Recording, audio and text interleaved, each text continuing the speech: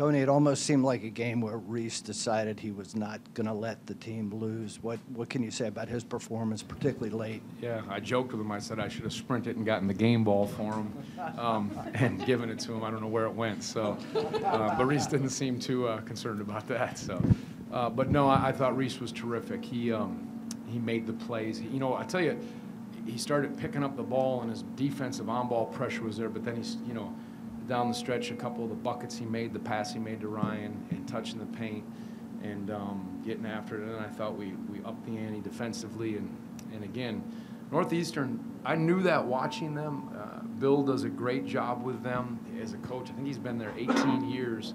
And, and how they run their stuff and how they use Doherty kind of as like a, you know, a, a center, but a point center that kind of backs down and good stuff um, was good. And you know, we went to trap the post early because we weren't sure if we could guard them. And boy, they just they had that floor space. Boom, made a couple threes, and we were unsound defensively um, for stretches of the first half, and then a little bit in the second half. But but that was our only chances to toughen up, and then someone needed to make some plays. And um, you know, we looked.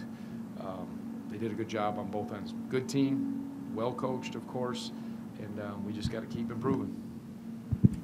Tony, you got a, a pretty nice contribution off the bench from Gertrude and Bond. How important were those minutes tonight, and how important will they be going forward? Yeah, we needed it. You know, um, Andrew Rohde, we, we sat him for nine days to rest his. Uh, he had a little issue with a foot uh, that he's been battling, so we rested him, and he looked rusty. He didn't, you know, even on ball defensively and some of those things. Um, and so, um, and actually, Elijah was out for a little bit too. He had a clear uh, protocol. Um, but then I thought the lift that Elijah gave us, you saw a burst of his athleticism, and Leon uh, was important. They guarded IMAC a little harder. They tagged. They made it physical. I didn't think we were um, accepting the challenge of how physical we needed to be on offense, setting cuts up and good hard screens. We kind of stood, and um, you know, it, it at this time of year against better competition, it doesn't come easy. You've got to have that mindset. So the lifts from Leon, to get back to your question, and Elijah were, were good for us um, in, in many ways. And, you know, even though Taine gave us a few minutes in there and Blake, um, we, we needed that. We just needed to get ourselves right, and he brought some physicality. Yeah, kind of going off of that, this is the first one of the season where you guys were trailing at the half, and then even after the half, they scored the first, I think, seven points. What kind of allowed you guys to get back into it after that? Tougher defense, and, you know, Reece kind of decided to, you know, he, he took over, made some plays. You know, IMAC banged a three. We just, we made some adjustments um, that I thought got us moving and a little more physical offensively, and then we just tried to make it tough. We, I think Jake Groves did a really good job on individual defense guarding Doherty, and then we put Ryan on him a little bit, and he did a good job, and then he spun off of it. But we just decided to, you know, stay at home on some of the other guys and make him make some plays, and um, because they hurt us with that trap, and and so I thought that helped us too when they were playing through him to just stand in there, and you know, it's just that game. I mean, they had that game, you know, we had it for a stretch, and um, it was just one of those. Um, kind of smash mouth games that you had a last man standing and plays had to be made. What is the value of finding a way to win tonight when things did not come easily and you did not play your best? Yeah, I thought that was important because you know um, the last few games. Well, not Texas A&M, but after that we've had a nice lead and it was a little, you know, I, I don't know what the right word is, but it was just there was some separation. You kind of could play and a little more easy. And this was hard. We had a every possession mattered defensively and offensively. There was legitimate game pressure.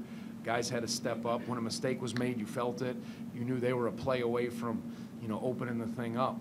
And so um, I just think there's incredible value in that. And we haven't had a game like that against Wisconsin. They just separated from us, cut it to five. I remember in that game they separated.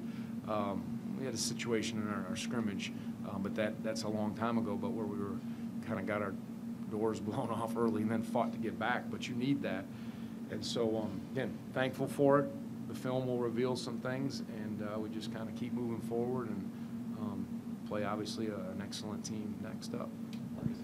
In the second half, when you started getting going, it seems like it was a lot of you got two feet in the paint. Was that something that you changed? Was it a mindset change or an emphasis? Yeah, tried to just get some better screens and more movement. Um, you know, we've got a few base offenses that you sort of spin the dial and see which one's working. They did a good job guarding our first uh, offense that, you know, it was, it was okay. Uh, I didn't think we ran it hard in the second half. We just gave some ball screens to Reece at the end, but got a little more movement off the ball screen, played off the screens, and tried to uh, make them chase us. Um, and I thought that helped loosen them up a little bit, as opposed to going against a set defense all the time or just trying to make one-on-one plays or balls, kind of rely on the ball screen. We did down the stretch, but I thought that helped us, and we did, because of that, touch the paint and made some plays off of that.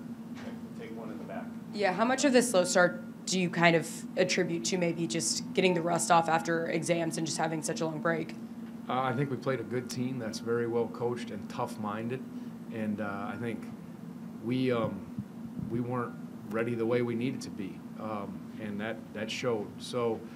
Um, again, I didn't go here. I, I don't pretend to.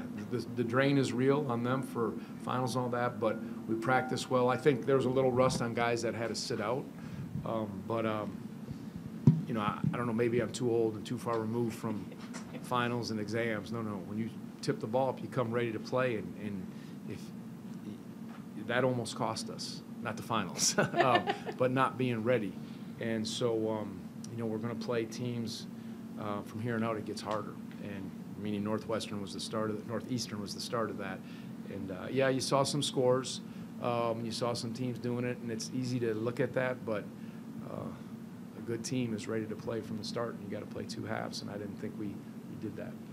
Tony, how, how did the Memphis uh, schedule come about, and what is the value, not just in playing a team like that, but going to their gym? I actually don't really know. I mean, I, I know we wanted to go on the road, play a high-quality team. It's just how you always balance your schedule. You're looking for good opponents um, to play, to prepare you, and that's what, this Northeastern game, we knew numbers-wise, high-quality, I don't even know if you call mid-majors, I, you know, the, these coming from Wisconsin, Green Bay, you know, I, that we live for games like that, but we need to play a good, tough team to prepare us, and it is, you know, after finals, you always look at that, but we've played some of our best basketball after finals. Um, and, uh, and then this Memphis game, yeah, we just, it was the time and the schedule, and uh they're playing good ball, and it was, you know, we needed a road game against a, a very talented, good team, and, and that's what we're gonna get.